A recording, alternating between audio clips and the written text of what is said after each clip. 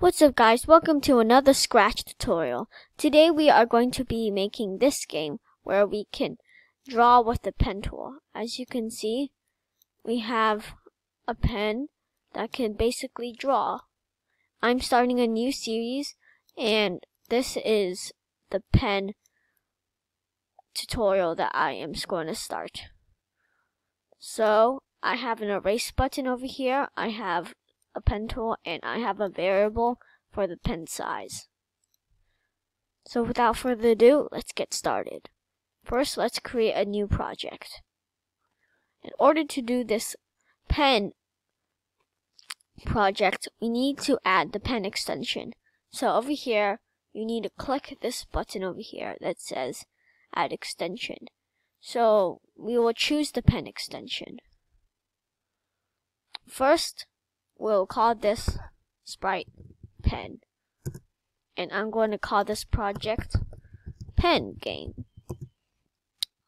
So in our pen sprite, we're going to create a new sprite, new costume, and it's go just going to be a dot. And this dot is not going to do anything because we are just going to basically hide it. So when green flag is clicked, we are going to hide the pen. And we will erase everything from the screen. So it'll look like that.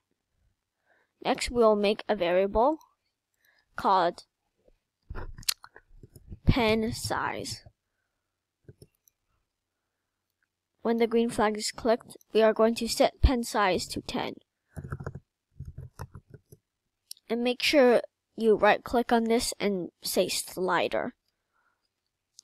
So next we want to get a forever loop and an if else statement. If mouse down, then we are going to put the pen down, else we will put the pen up. And we need a, a go to mouse pointer. So as you can see now, we can draw with the pen and I'm just going to set some values here. I'm going to set the pen color to black.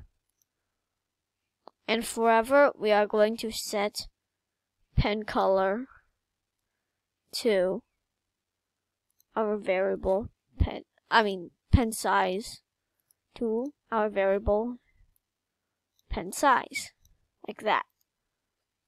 So if our pen size is 100, then it will be one. Our pens, it will be 100. But if it's like 10, it will be 10. And you can just basically make this value anything you want. So the person who's playing this game, well, can change the value. So now let's add an erase button. So let's create a new sprite and let's call it erase button. This button will erase anything from the screen. So I have an erase button over here from my backpack. I made it from Pixel, so it will look like this. So first, when the green flag is clicked, we want our button to be right here. So we will go to there. Then let's get a forever loop and an if else statement if touching mouse pointer, then we are going to change our size by 120 minus size divided by 3. So it should look like this. So it's just basically making it bigger. Smoothly though. Now I'll duplicate this but instead change this to 100. So if we play it now, it looks like that. And we want to set our brightness effect to 30, else we're going to set our brightness effect back to zero. So it'll look like this. And then inside the if statement, we'll do another if. This time we'll do if mouse down, then we will basically erase everything. So let's draw something real quick. And then let's press this button and it basically erases everything. So now what if we want color? Color, we will do basically the same thing. Let's make a new variable and let's call it pen color.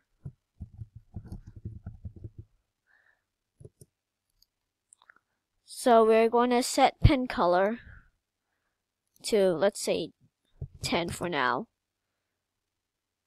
And instead of setting the pen color to that, black, we are going to set pen color to our pen color variable. And make sure it's a slider too. So our pen colors are 100. We have like this dark blue here. And then basically, yeah. But all you see is just blue. And we don't want that. So what you can do is right click on this and say change slider range. We'll change it from 1000 to negative 1000.